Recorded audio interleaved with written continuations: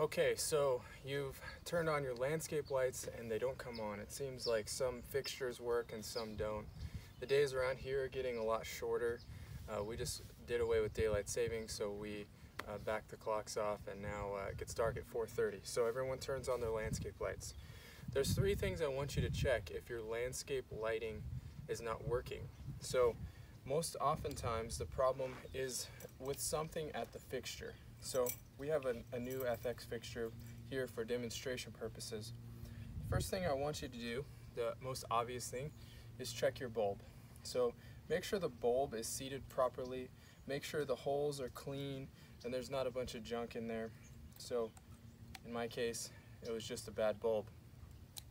If you have LED bulbs, they should last about 10 years if they're good quality.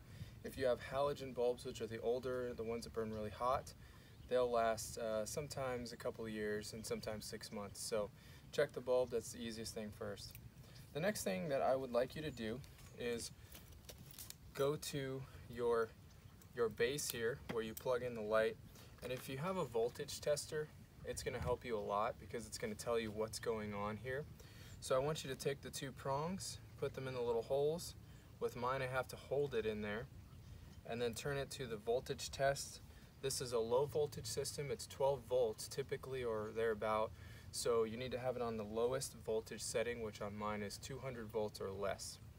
So I would check it, and if I still am not showing any power here, then the most common problem that we see is actually with the connections.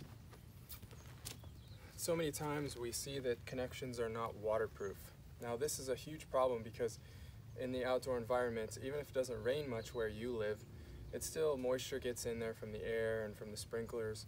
And so moisture travels throughout the copper, starts destroying things and taking the connections and making them uh, very weak. So check your connections. If it looks like there's any damage to them, uh, maybe the wire's green or black is bad. If it's black on the inside, uh, cut it off and go ahead and replace the connection. Most oftentimes this will fix the problem. We recommend using a dry splice connection.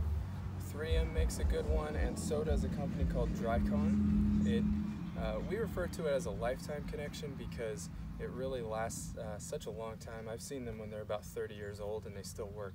It's, uh, it holds it together tightly, you can't pull it apart, and also it's waterproof, so uh, it does everything you need it to do. If that doesn't work and it's still not operating properly, you may want to go to the transformer and do the same voltage test with your voltage meter at the transformer and make sure that's not the problem.